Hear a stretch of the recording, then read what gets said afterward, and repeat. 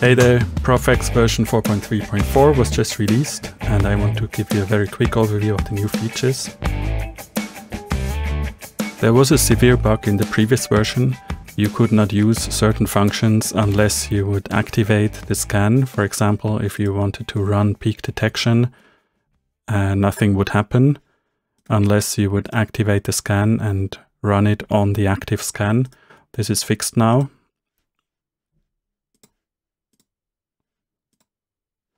Can now run peak detection without activating the scan. And the same goes for um, generic curve fits and search match. Then another new feature is in the preferences dialog. We can now apply the preferences uh, changes without closing the dialog. For example, we can show the grid lines. So we see the changes without closing the dialog each time. We can also activate more than one scan now. So if we click on the scan in the plot options, it will be highlighted and filled. And if we hold the control key and select another scan, we can now highlight multiple scans at once. And last but not least, there's a new tool.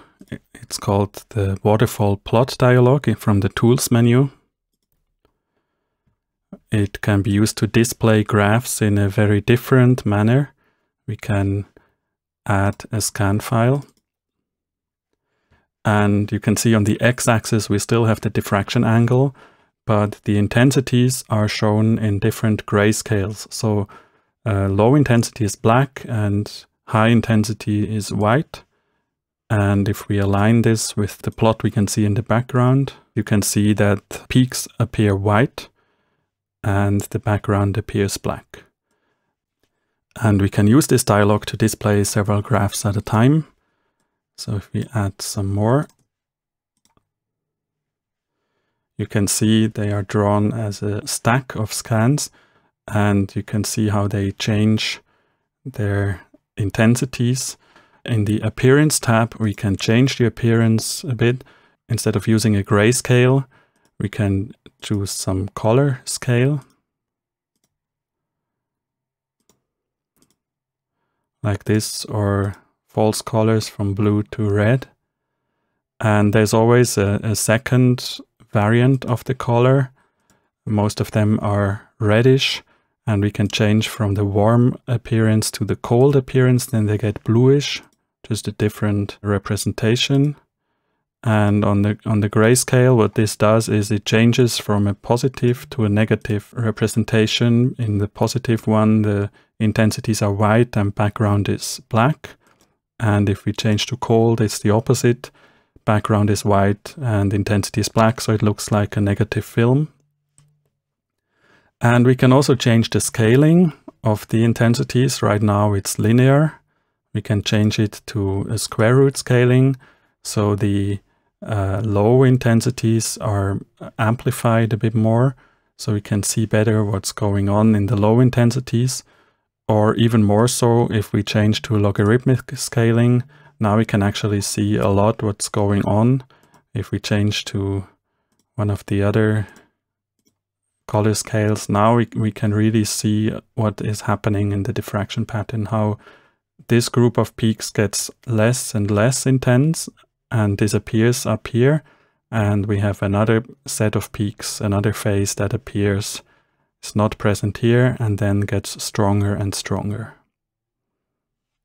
We can change some more appearance settings. For example, we can change the, the range of the intensity scale. Right now it starts at zero. If we increase this, we can clip and start at an intensity of, let's say 50, like this. So the, the contrast of this image is changed, same for the upper end. And then we can also change the interpolation to smooth. Now what happens here? Now the values between the actual scans are interpolated smoothly. Here, without this, we have a sharp transition from one scan to the next one. If we activate smooth interpolation, we get a smooth appearance. It just looks a lot nicer than the bands, the sharp transitions here.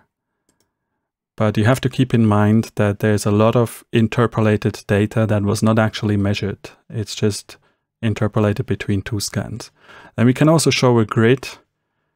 It shows some grid lines at uh, certain angles just for orientation so you can better follow the shifting of peaks. And it also shows horizontal lines at the positions where the measured scan is drawn. If we activate smooth interpolation, anything between this line and this line is interpolated and the actual scan data is drawn exactly at this line and at this line and here. Then we can save the graph either as an image, a pixel image in PNG format or as an SVG file, including all the scales and labels. And if we move the cursor around on the picture, we can see the coordinates down here. It shows us on which scan we are, and it shows the diffraction angle, the horizontal position of the cursor.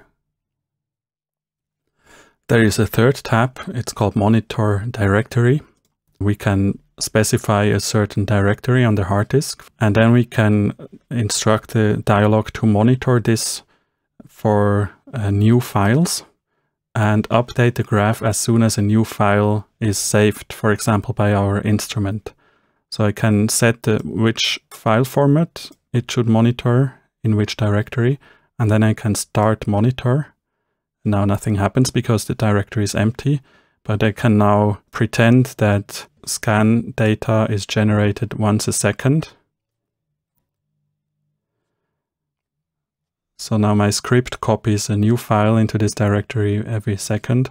And you can see how the dialog monitors the content of this directory and updates the scan. So we can watch it in real time.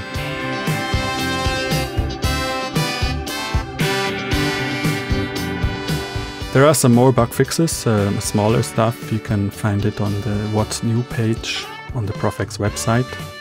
If you need help with upgrading from a previous version to the new version, Check out the video for the new features in version 4.3.3.